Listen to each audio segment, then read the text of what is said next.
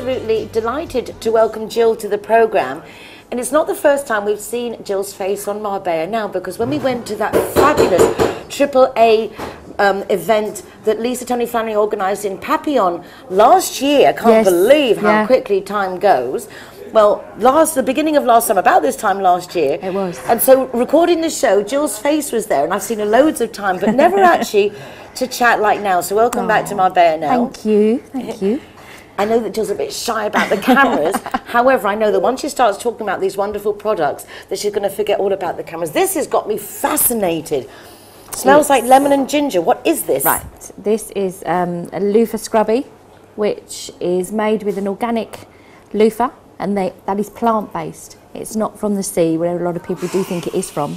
And I infuse it with lemongrass and ginger, so it's a great as an exfoliating scrub.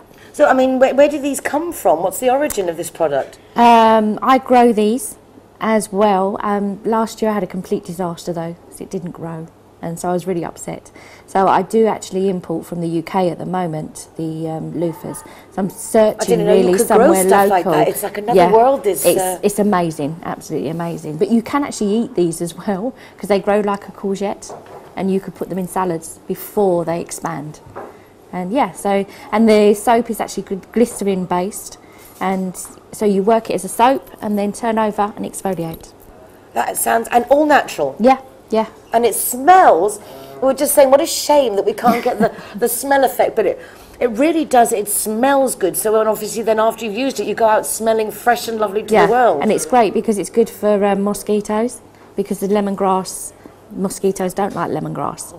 So it's a good one if you're going out in the evening to Where's my that. handbag? oh, take goodness with me. And where, before we even get on to the rest, the mosquitoes, my daughter was saying the other night that she was just being devoured by the mosquitoes.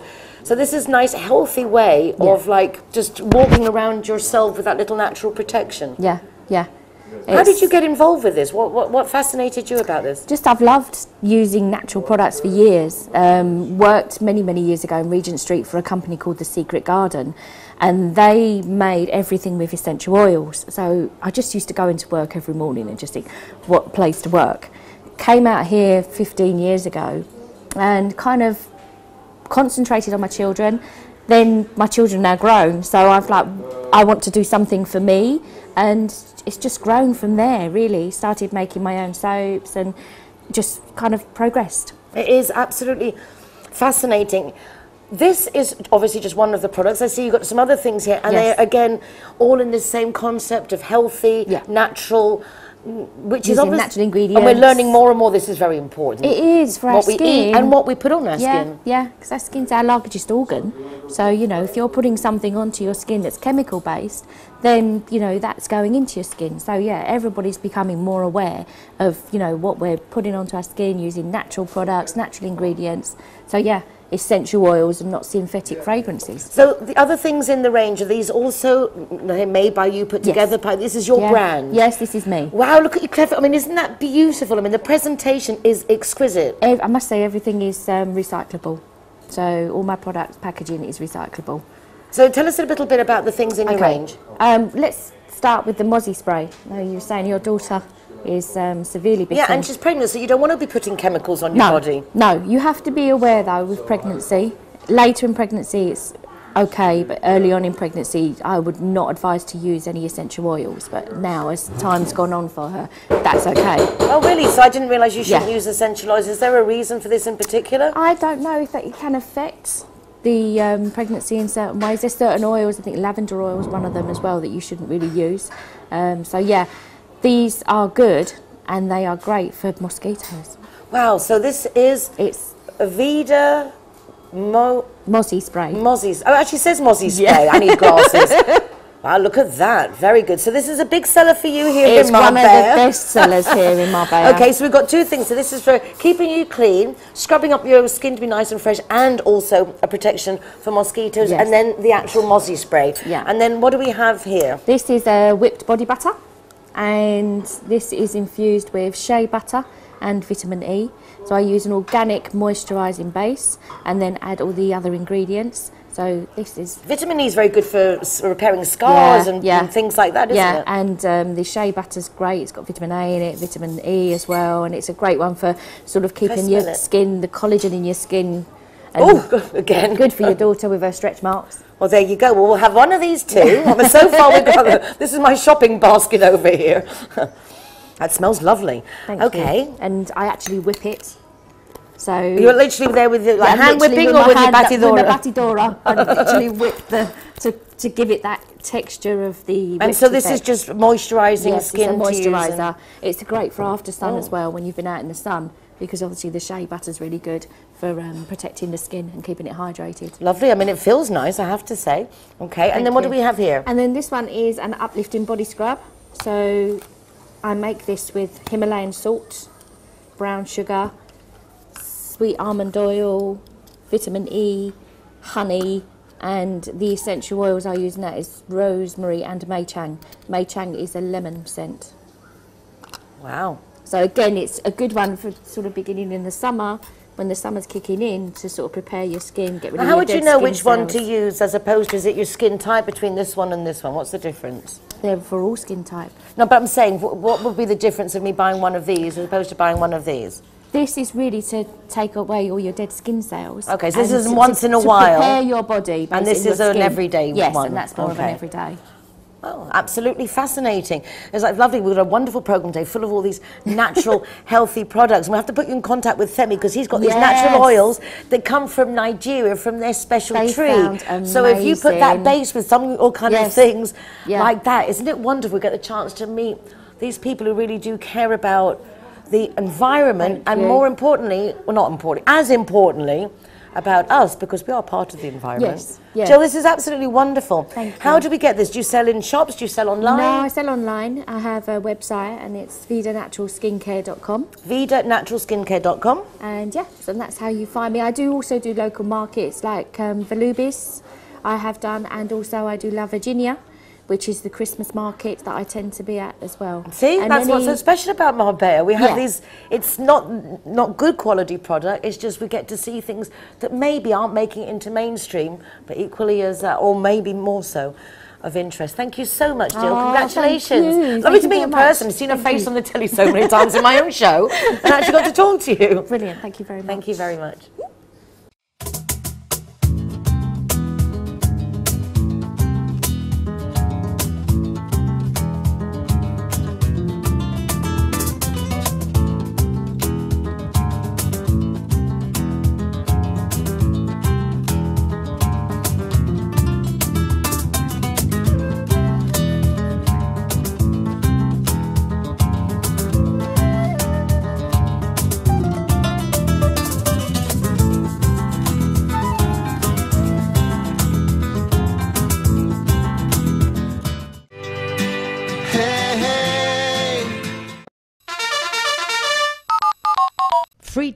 Four times a month and 25% discount on your car insurance if you're the zero hero.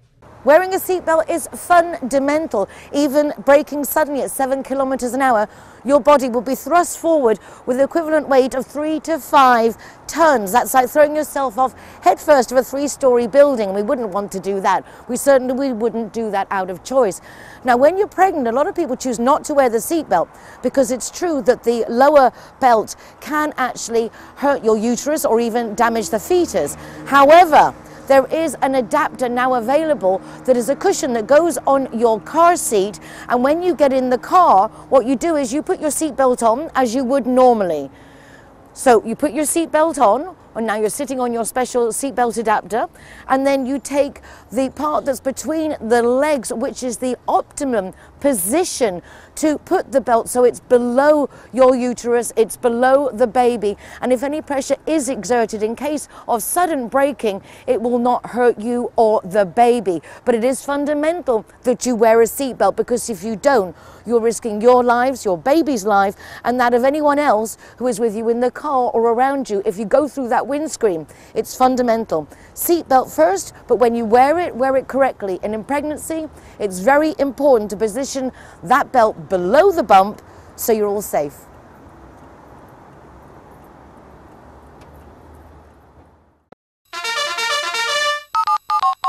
Free taxi four times a month and 25% discount on your car insurance if you're the zero hero.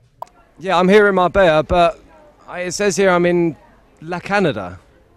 If you haven't mastered the lingo, don't worry. Línea Directa has a free GPS geolocator service that will come and find you. Hello again, Marbella.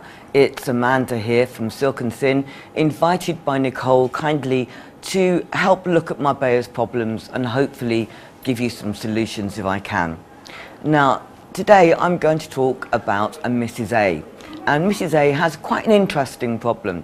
She's in her 40s and she's recently started dating a guy who is actually 12 years younger than her. Well, if it was a woman dating a guy 12 years older than her, none of us would bat an eyelash. It would be perfectly normal. But in this case, because she is older than him, a few problems have arisen.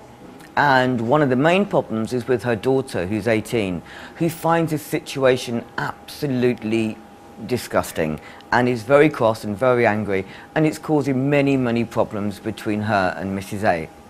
Now, Mrs. A and her daughter's father have been divorced for well over 10 years. So it's not like that the daughter feels that the family could get back together and this younger guy is preventing that.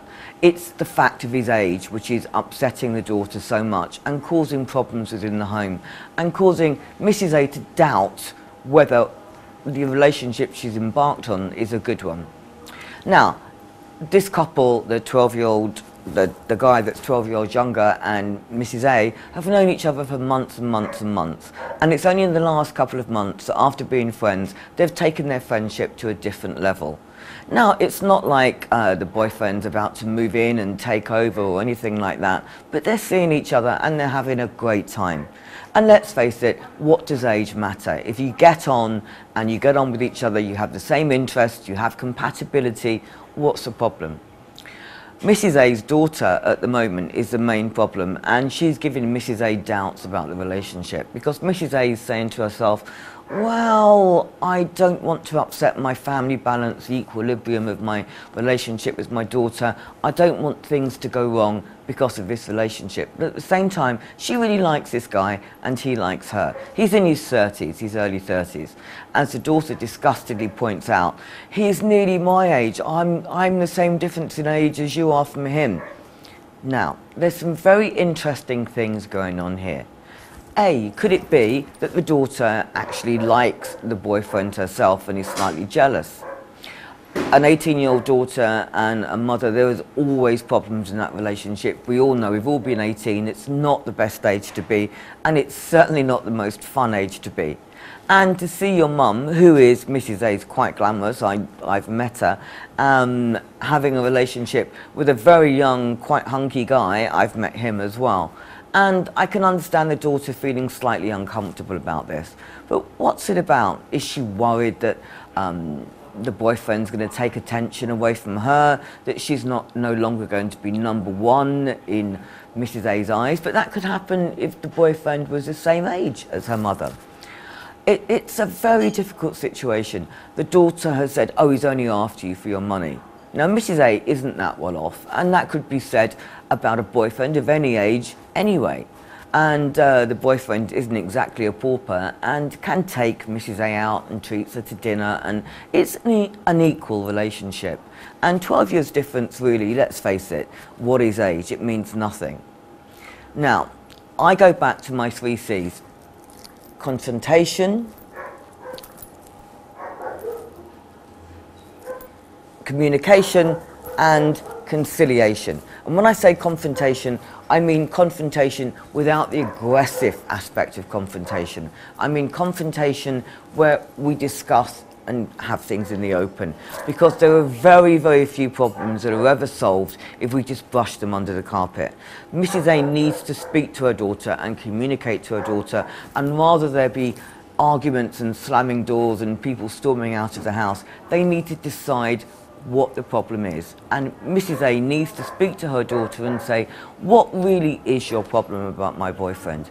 Is it because of his age? Is it because of anything else? Have you heard anything about him? And start building on the relationship with her daughter.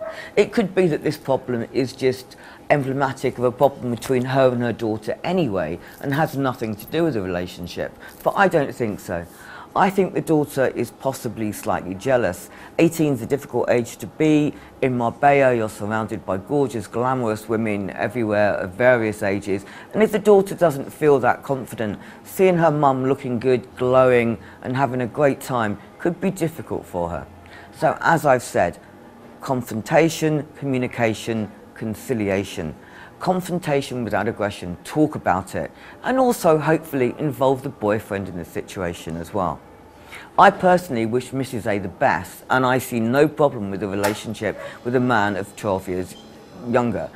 As I said, if it was the other way around, we wouldn't even think about it. So, communicate with your daughter, Mrs. A, and please let us know how you get on and we wish you the very, very best of luck in this new and burgeoning relationship. And good luck with it. And in the meantime, enjoy. Okay, Marbella, that's enough from me today. So thank you very much for listening, and I look forward to speaking to you soon. Bye bye. Thank you. Halfway twisted, you've been out of shape.